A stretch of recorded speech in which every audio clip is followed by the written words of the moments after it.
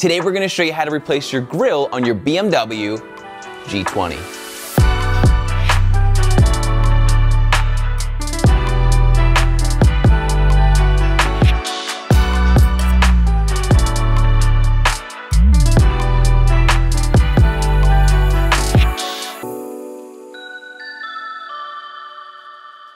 Hey, this is Bryan. Thanks for watching Kies Motorsports. If you like our videos, give us a thumbs up. Make sure to subscribe and check us out at kiesmotorsports.com.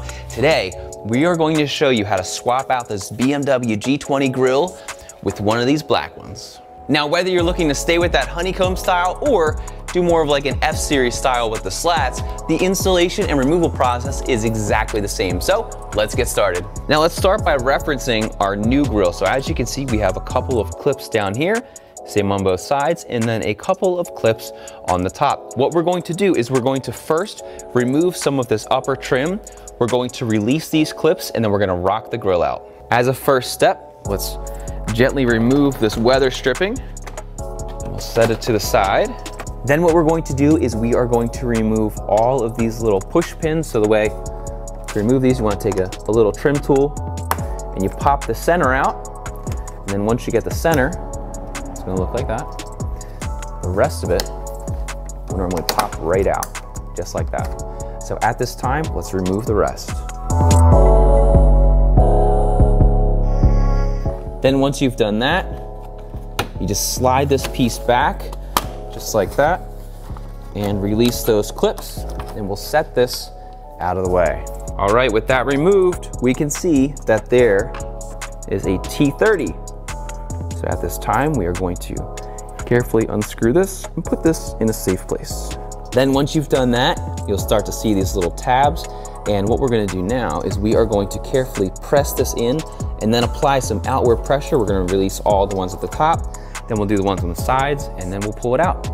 So I'm going to press this in with a trim tool. Start to work my way across here.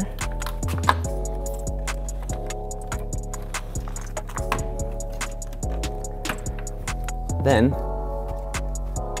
if you look on here, there are these ones at the side. So we're gonna try to reach down and look for the one that's holding the side in. Right, that one came out pretty easy. Sometimes these are a little bit hard to see. All right, that one is good. And then what you can start to do is you can just start to pull it out very slowly. Just work from one end across the bottom. And what you wanna do is you wanna be very careful, especially as you're removing the camera, um, because you wanna make sure that that does not get damaged. All right, so with that out, we're just going to carefully pull out the clips on the bottom. Do the same on the other side here. Just like that.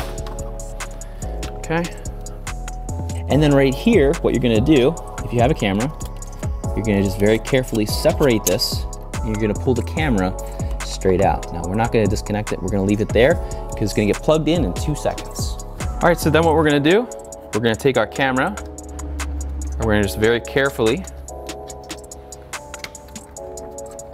slide it back into place. Then once you have your camera fully secure, you wanna just start to line all of the bottom clips up you want to line up the top. Make sure that it's going into the right groove there. we'll just start to clip everything in. Make sure that you hear an audible clip on everything. And that's how easy it is. All right, so once you've done that, what we can do is we can take our T30, put that back in. Get this, it has three little series of clips. So you just press down on those like that. Then you can take all of your little plastic fasteners, put them in,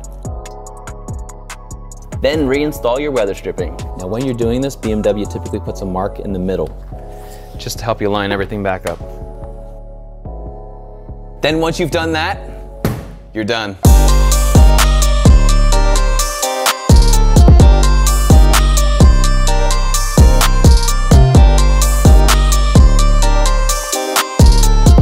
As you just saw, that's how quick and easy it is to install new kidney grills on your BMW G20. Once again, my name is Bryan. Thanks for watching Kies Motorsports. If you haven't done so, give us a thumbs up. Make sure to subscribe and check us out at kiesmotorsports.com. And for links to all the tools and parts we used in today's video, see the links in the description. Thanks for watching and have a great day.